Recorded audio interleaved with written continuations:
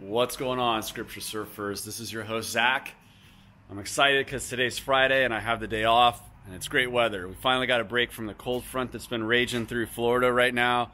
Everyone up in the north is like, What are you talking about? A cold front? well, it did get down to where in Anchorage it was 39 and here in Orlando it was 39. So I don't want to hear it. That's, that's abnormal for us. We're not used to that kind of cold. So today it's uh, projected to be uh, like low 80s. Uh, so it's a great surf fishing day, and that's where I'm headed out to. So I want to take you guys out to New Smyrna, let you see where I grew up, uh, some of the town, maybe some fishing shops. Might pick up a rod, I don't know. But the intention today is again to go surf fishing and, uh, and have some fun. Real quick, I'll show you guys my truck. I just bought a, a uh, new Ford F-250 to get ready for the boat coming in. And uh, this truck was a little bit bigger than I thought, uh, meaning how high lifted it is. But it's a beast. It's a lot of fun. I'll show you guys another video one day about it, but I, uh, I just got done some upgrades in the last couple weeks on it uh, from Gale Banks. Uh, I'll show a link to the Banks website here on the channel, but man, the guy's tuners, the stuff that he does, he's a genius. And uh, for diesel, you gotta get it, guys, gotta get it. Uh, takes away all that throttle mush that you would get where you'd hit the gas and it wouldn't go for a little bit and rev up. Uh, you can control basically like 30 settings of throttle response on this truck.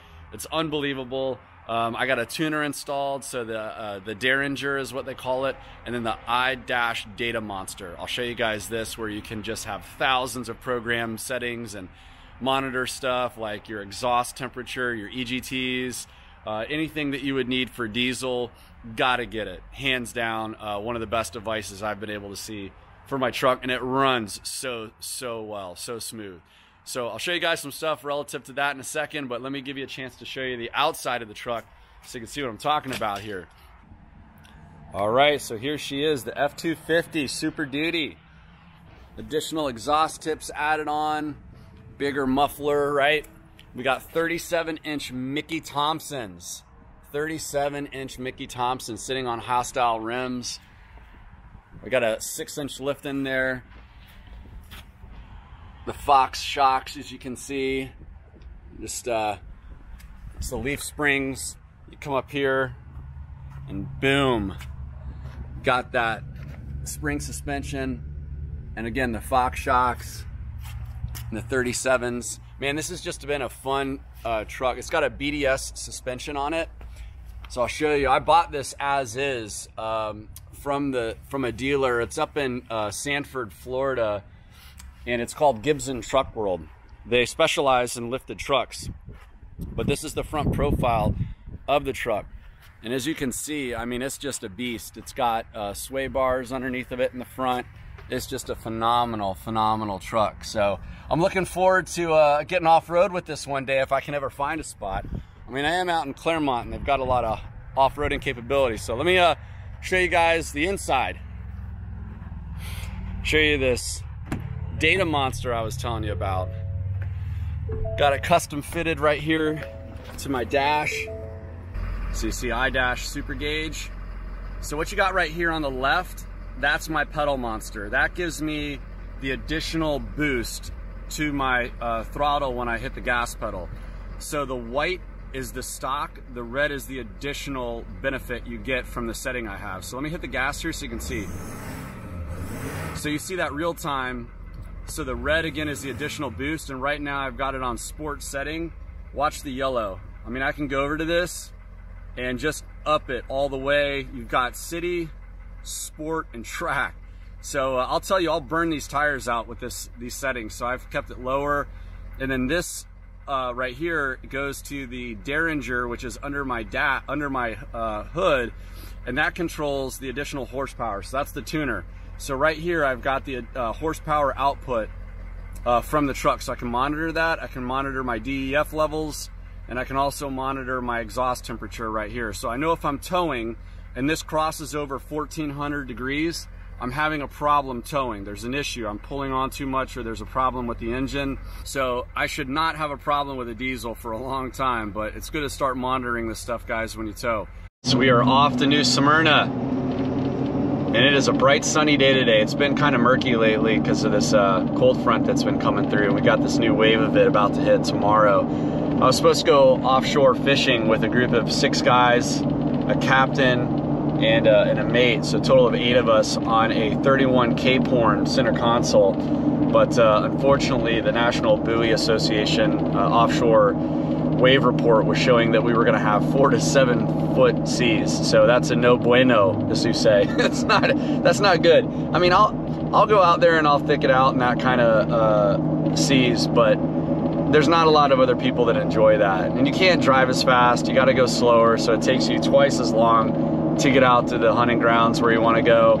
And we were specifically going to be targeting wahoo and tuna. So sashimi grade uh, quality fish that are right now offshore in Ponce Inlet in New Smyrna. So we're uh, we're sitting here uh, right in February. Um, so today's date is like February the uh, fourth. so it's just one of those things where um, you know right now ma not mahi around because of the the cold, but wahoo and tuna get pushed into the area. Just a lot of bait fish migrate through off of Ponce Inlet. Um, it's the shark attack capital of the world for a reason. It's not because sharks are after people, they're after the bait.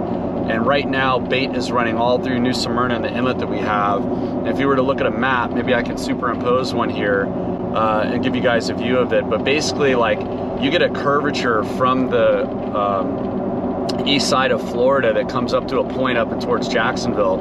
And when you do this, the water current converges all around the point in New Smyrna, and that's why you get all these bait that come through there. Uh, it's just a really uh, big inlet, you know, huge tide that comes in and out um, through that inlet channel, big, big channel. So tons of bait migration, great spot to be able to pick up redfish, some drum, uh, sheep's head, you name it. Uh, I've caught pompano inside of the inlet, and you can catch snapper, little snapper.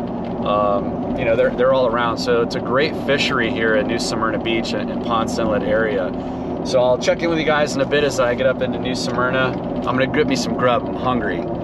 All right guys, well as I'm heading out here to New Smyrna Beach right now, um, I've got about an hour and a half drive, hour and 15 minutes depending on traffic. It's a Friday, it's my uh, Sabbath is what I call this day. Saturday's my day off. So Friday's the day that I use to take everything distracting out of my life and just spend time with God. So today I'm going up to New Smyrna and I'm really excited to do just some surf fishing and spend some time around the town there. Check out a little local fishing store that I really like out there down in the little town of New Smyrna Beach. But I was thinking about what I'd at least talk to you guys about while I'm on this drive because it does give me some some windshield warrior time where I've got myself and my head thoughts here. And uh, as I was thinking about what to talk about, I realized, you know what, I got some music playing in the background. And uh, maybe I could talk to you guys about music. And it's important to, to think about it because of the relativity of what I'm going to share with you. See, our lead pastor came through just a couple days ago on Wednesday. We've got a men's breakfast where in our church, at my specific campus, we have about 60 men to get together every Wednesday and we hear a story from the Bible or something about a life application on how we can grow as men, and we sit around and talk about it in tables, and it's a great time of community. But in this message this, this week, what our lead pastor Don shared that was really profound with me was about the life of Daniel from Scripture. And what he had talked about is a really important decision that Daniel had to make. And what he said was is that it was his second decision. It wasn't his first decision And I'm like, what do you mean a second decision? Yeah, it's a big decision, but why isn't it his first? And what he said is really true. It's Daniel's first decision was the understanding of the truth and the relativity of who God is and his will for Daniel's life. And once he made a conscious decision about what he wanted to do with that truth and knowledge, every other decision was a second decision. You see, what you believe about God or what you believe about Jesus Christ or the Holy Spirit is everything to have to do with what you believe about yourself, how you parent, what you feel about politics, what you feel about your finances. Everything else flows from that decision in life. Everything.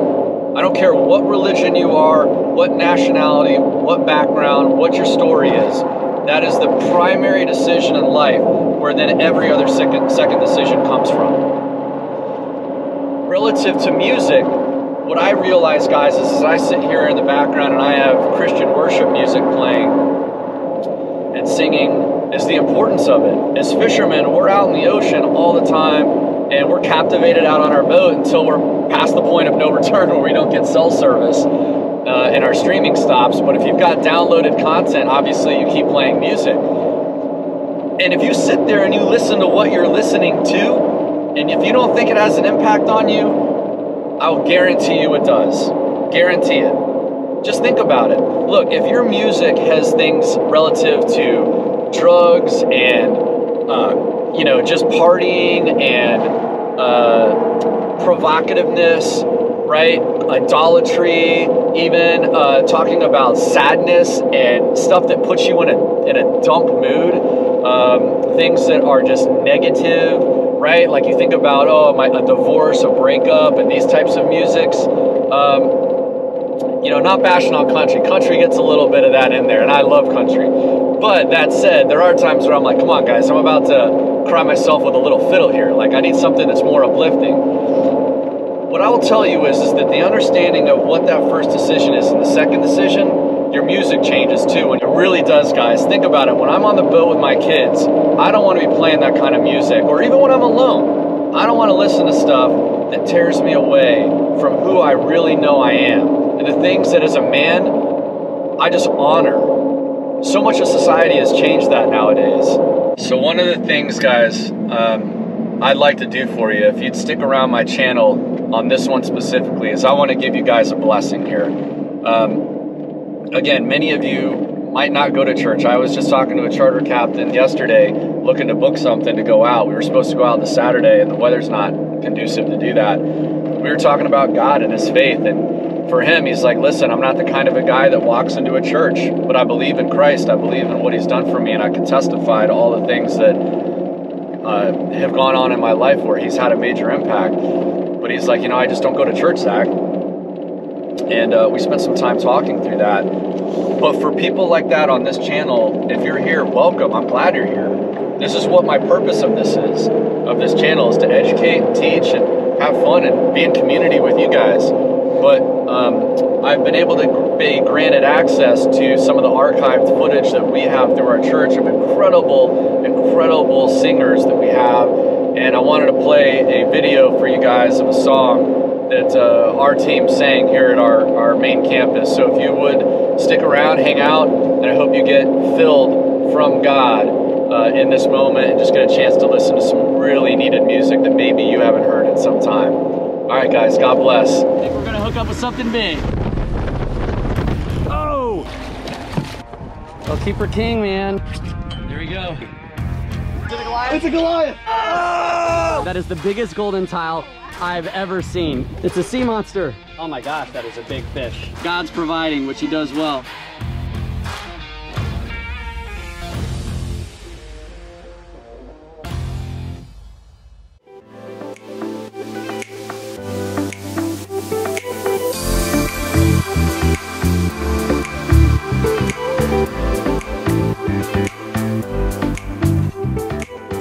All right, guys, we're up at New Smyrna and I'm about to take you on to Canal Street.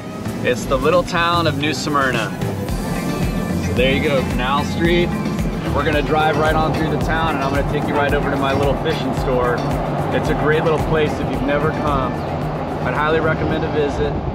It's great for the family, a lot of good restaurants and eatery. Uh, just a good town, really quiet place, although they do have a lot of street fair and stuff like that that happens around here in farmers markets. Uh, they've even got like a concert room, but right here on this group of buildings uh, to my left here is where we've got the bait fish shop. So you'll see New Smyrna Outfitters. So we'll stop there in a second. All right, guys, here's our spot. It's New Smyrna Outfitters. You don't want to miss it. Come check it out at New Smyrna Beach, Florida. Our local shop here that we have. It's a great little outfit. You can get tons of stuff. So you've got inshore rods, got offshore rods, glasses, hats, all the gear that you would need to go fishing. So you've got fly fishing gear, stuff for inshore, uh, rudder tails, and then you can get over into some deep drop application even and trolling. So I'm usually in this section. Got a ton of weights here, some dredge weights. Again, it's a great spot um, a lot of opportunity to pick up different uh, offshore needs that you have, and the prices are right on point, guys. From being around here, I'll tell you that. And if this shop wasn't here, I'd be having to drive like another 20 miles to get anything else like this around this part of town. So I recommend you come check them out here on Canal Street. It's a fun little spot. Bring your family in here and kids. And again, if you uh, are looking for some rods and reels, I'd recommend it. In fact, today I'm going to be picking up a rod. One day I'll go ahead and get this Hooker Electric 80 wide, right? I think maybe you guys will give me about a 20%, 50% discount for being a good guy. we'll see. But hey guys, let me introduce you to Adam. Adam's a buddy of mine that I've seen a bunch in here coming in to, to fish and hunt. He's given me some good advice and today he's gonna help me out and we're specifically looking at Van Staal reels. So I'm looking at getting a spinner reel and setup. So I'm uh, gonna ask Adam just a few questions here relative to these reels. So really he's told me already that they're pretty, uh, pretty resistant and that's what I'm looking for. Something sturdy, just takes a beating, has a really good uh, wear and tear type application. And what he's recommended is is called the 125, right? Yeah, yes, sir. Yeah, for what you're looking to do. Tell me about this reel really quick, so some of the viewers can get an idea of what's what's part of it. So basically, it's a uh, all aluminum machine reel. It's also going to be an all sealed reel. So it, they're basically built for durability. Um, it's not going to be as lightweight as something like say your Stella or you know, your Twin Power or something, but it's going to have a ton of backbone, ton of um, take a lot of abuse, and like I said, it's fully sealed. So excellent reel for uh, offshore or guys uh, doing snook fishing, tarpon fishing from the rocks, stuff like that. Okay, so if you're using it for even mahi, you can use a rod like the reel like this, and if you're going for some red drum, this will hold up to it as well. Oh yeah, easily, easily for sure. Okay, awesome. So what rod would you recommend pairing this with? I'll show you some stuff. Take a look. So it kind of obviously depends on what your application is. Um, a rod I really like for it, and this is the rod I personally use, is uh, this Crowder Enamic. So it's the Crowder Enamic rod. They're built in Stuart. Um, it's the ENS 7050.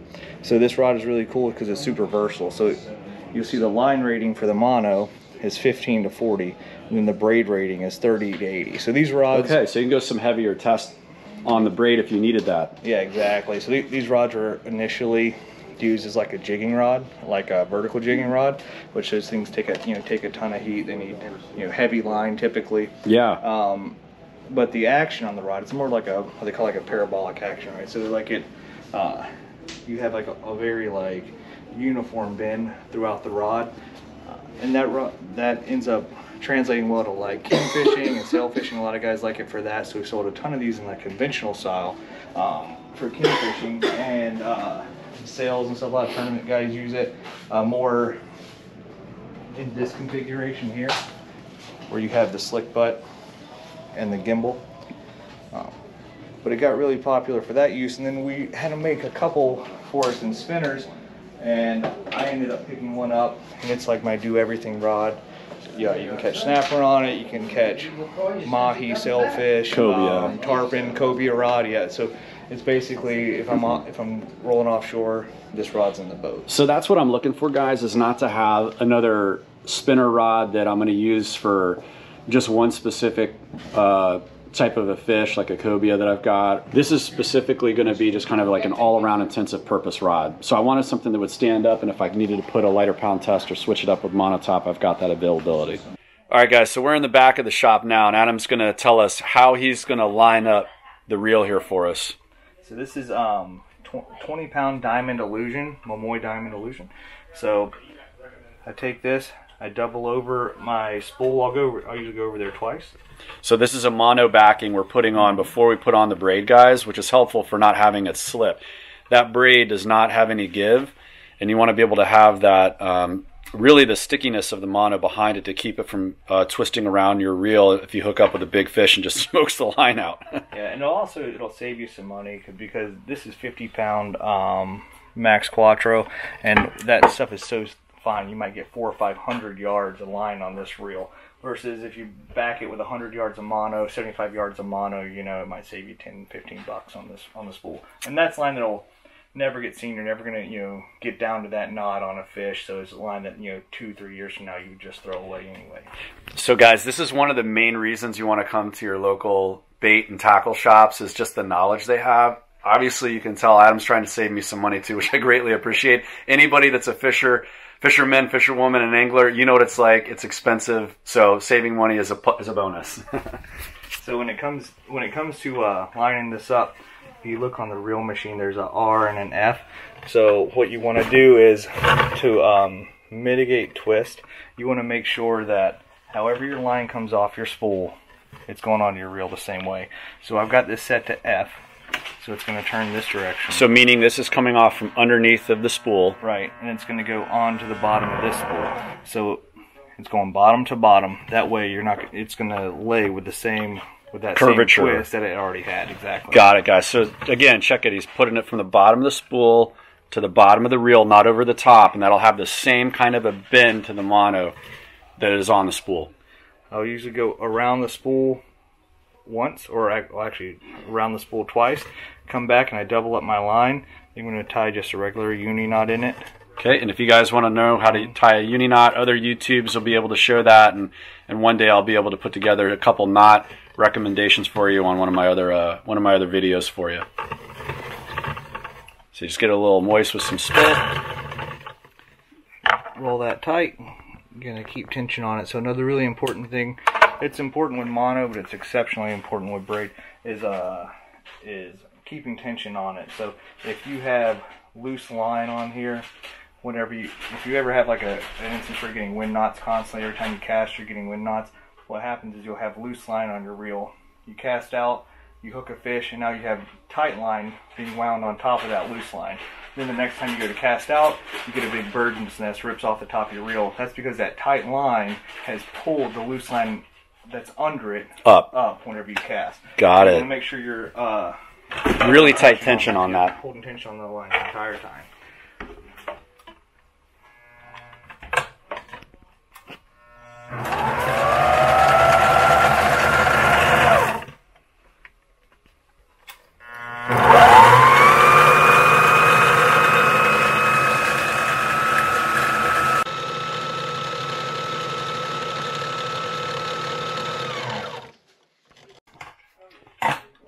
All right, guys. So we just finished putting on the mono backing.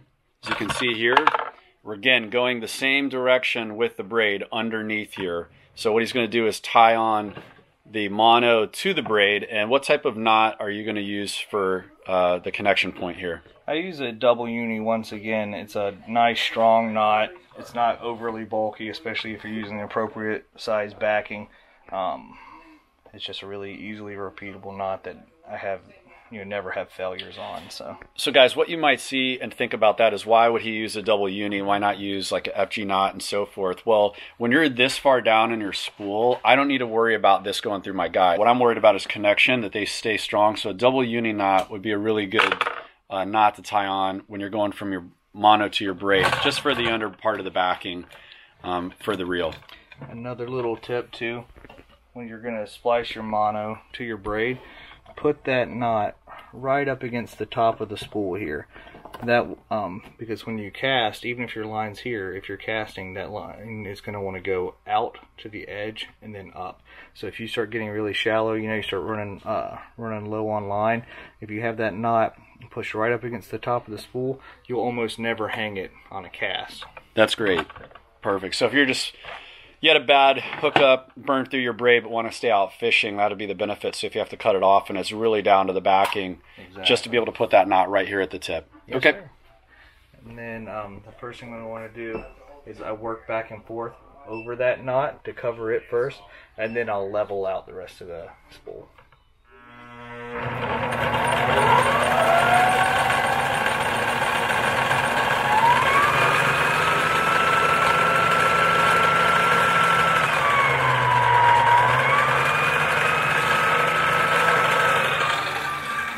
That sure beats doing it by hand. I can't tell you how many times I put like a little pencil through the spool and done that by hand, and it takes me a good hour uh, through going through it to try to keep as much tension on it, or my wife holding on to it. So again, another reason why you want to come by your local bait and tackle shop And uh, guys, they charge a fair price for being able to spool up your reel for you.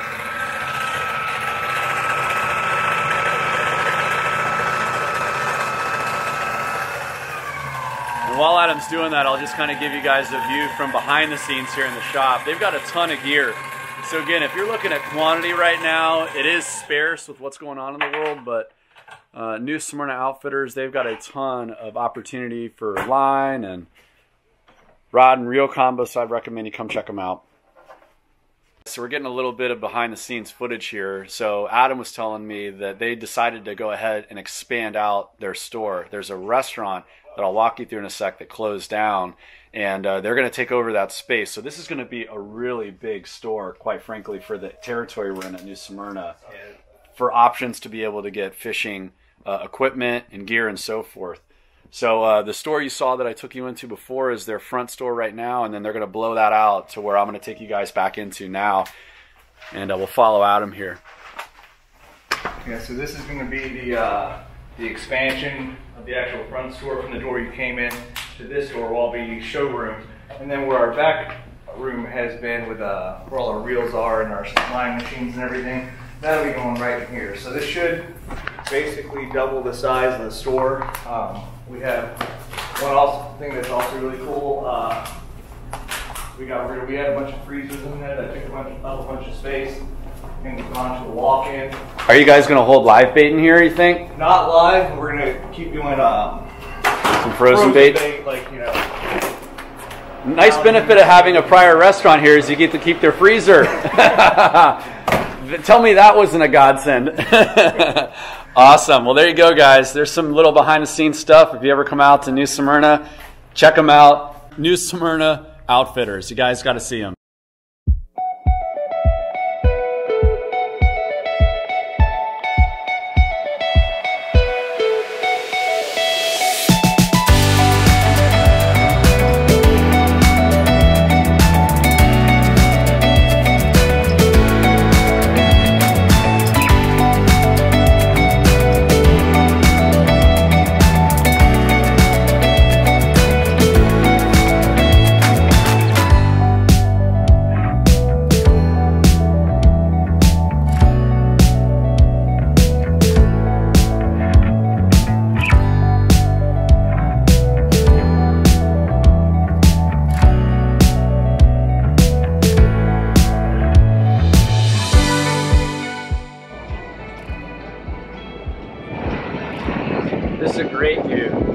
Spot that just got renovated. Flagler Tavern. Great bar, great hangout, good food, good ambiance. Gotta check it out. And look, we are heading up to the beach. I'm ready to get on. All right, guys, I'm pulling up onto the ramp. I had to drive around for an hour. We've got about half a dozen ramps here, and depending on the tide, which this cold front's just pushing in a really high tide right now uh, to us, depending on that tide, they'll close the ramps. Um, so I just got word from one of them that uh, they opened the furthest northern ramp that we have. So I'm here now, pulling up on, and man, does it look like an awesome day. I'm really stoked to be out here. And I got an annual pass, so he just scans it, we're on. Morning. Doing good. Thanks a lot. You too, man. All right, here we go, guys. We're on the beach, and as soon as I cross that concrete to sand barrier, I get a little giggle in my spirit. God is with me here, and we're going out and seeing some uh, some fish, some waves, some nature. Man, look at this. It's a Friday. If you're watching this in your office on a weekday, God bless you. God bless you. He sees you. He sees me, and he's giving me the day off, and you can enjoy it with me. How about that? So the tide is up high. It's right up on the beach line. Well, here in New Smyrna Beach, uh, they do allow you to drive on it. It's I don't know how long they've been doing that, but ever since I went to school here, since 1996, they've had it so that you're able to drive onto the beach. And uh, I'll tell you, it makes a convenience when you've got to lug around all your surf fishing gear, or if you got a family and you're trying to wheel a cart with all that junk in it, it is not fun. All right, guys, so I'm gonna show you what I'm out here doing. Uh, we've got a surf rod setup. So the way a surf fishing rod works is in effect, it disconnects right here in the middle. So you can actually take the, the rod apart because of how big it is. You wouldn't want to put that in the back of your bed of your truck. So what I have right now is a pompano rig on here. And the pompano rig comes with two little uh, beads, if you will, that slide up and down that are high color, high vis. Oop, there went my chair. So you guys are getting an idea of how much wind is out here. And uh, two little sharp hooks. And then you come down to this weight right here, which is called a Sputnik. And a Sputnik has this cool little contraption device that allows you, uh, when it's stored, to in effect fold up like that. And when you're out fishing, you've got the beads that lock it ideally into place. And the purpose of that is when you pull the beads down and it locks in. When I cast this out into the ocean, you can see the currents ripping right now, tons of waves and so forth. So this is just, if I had a traditional uh, pyramid weight on, it would just roll through all the current and my bait would end up way over here onto the uh, sand. So what this does is allow my line to go out, this sinks into the sand, and when it rolls, it uh, ideally will get stuck like an anchor and allow me to keep my line taut, which is what you need to see the, the fish on and to also hook it. You can't hook a fish uh, with a loose line out. It's also not safe because when you're fishing at the beach, you can't have your line laying on the ground for cars and people to walk through. So that's the Sputnik. It just connects with a little clip, goes onto a pompano rig. and get pompano rigs anywhere. And what I put on them is this fish gum. So you'll see right here, it's fish gum. And this is Excite the Strike pink shrimp flavored. So you throw this out there to get some scent. You pop off two of these little uh, fish bites with scissors and they've got these little fibers in them. It's really hard to get it off uh, for the fish to just pull it off. Like you have to basically cut it off with a knife or scissors. And then I've got shrimp. So I've got myself about 24 shrimp in there, good size. So we'll hook them underneath of the horn, cast them out and chop them up into bits if I need to, if they keep getting ripped off because they are pretty big.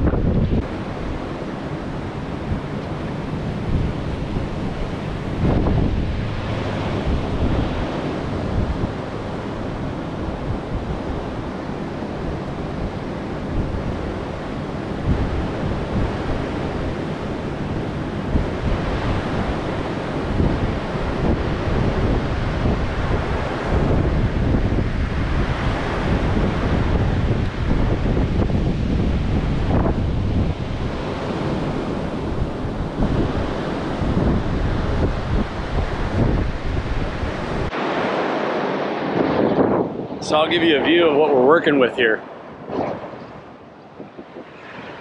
So you gotta bury your spike deep enough so that the water doesn't toil up the sand and allow it to come out. But in effect, I'll show you the bend on the rod. So you can see the wind is moving the rod tip. If you watch the rod tip, guys, you can hear the whistle of the wind even if I be quiet for a minute. That's how strong the wind is but then you'll see the tip, right? You see the little exaggerations, and that's because of the current. But right now, my weight is not moving. It's sitting there, dug into the sand, and then hanging up a foot and two different hooks are the bait. So we got two cut shrimp and two shrimp baits uh, on there. And again, this is my setup. So what I'm fishing with right now, we've got a Penn Battle 3. So it's 8,000. It's a heavy duty rig in case I get sharked. Uh, but it's a fun rod, I'll tell you that. It's a great time being out in this condition. But it's a beautiful day out here, man. Beautiful day. Just unbelievable. I love being out in nature. Being stuck inside watching TV all day rots your brain. It really does. So I gotta keep an eye on my rod tip here, see if we can catch anything. I'll keep you guys posted.